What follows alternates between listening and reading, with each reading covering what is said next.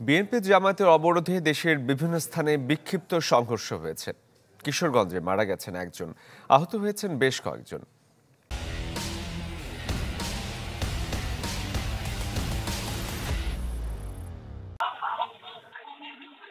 টানা বাহাত্তর ঘণ্টার কর্মসূচি, অবরোধের প্রথম দিনই উত্তপ্ত বিভিন্ন জেলা। নারায়ণগঞ্জের আড়াই হাজারে ঢাকা সিলেট মহাসড়ক অবরোধের চেষ্টা করেন বিএনপি নেতাকর্মীরা। বাধা দিলে পুলিশের সাথে সংঘর্ষ বাধে। আহত হন বেশ কয়েকজন। ভাঙচুর করা হয় বাস। ঢাকা নারায়ণগঞ্জ লিংক রোডে বিএনপির সিনিয়র যুগ্ম মহাসচিব রুহুল কবির রিজভির নেতৃত্বে বিক্ষোভ মিছিল ও পিকেটিং করেন নেতাকর্মীরা। আর বন্দরের মদনপুর এলাকায় দুটি পিকআপ ভ্যান ভাঙচুর করেছে একদল যুবক। কিশোরগঞ্জের একাধিক স্থানে সংঘর্ষ হয়েছে। ভৈরবে আওয়ামী লীগ নেতাকর্মীদের সাথে বিএনপির পাল্টাপাল্টি ধাওয়া হয়। আহত হয়েছেন অন্তত দশ জন। পরিস্থিতি নিয়ন্ত্রণে আনতে টিয়ার শেল রাবার বুলেট ছড়ে আইনশৃঙ্খলা বাহিনী।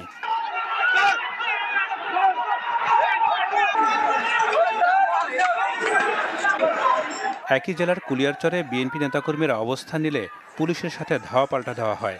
এ সময় গুলিবিদ্ধ হয়ে ইউনিয়ন কৃষক দলের সভাপতির মৃত্যুর অভিযোগ উঠেছে। সংঘর্ষ হয়েছে চোদ্দ শত এলাকায়ও। বগুড়ার বনানী এলাকায় বিএনপি নেতারা গাড়ি চলাচলে বাধা দিলে আওয়ামী লীগ নেতাকর্মী ও পুলিশের সাথে সংঘর্ষ হয়। আগুন ধরিয়ে দেওয়া হয় তিনটি মোটরসাইকেলে। Nadim Hossain, channel twenty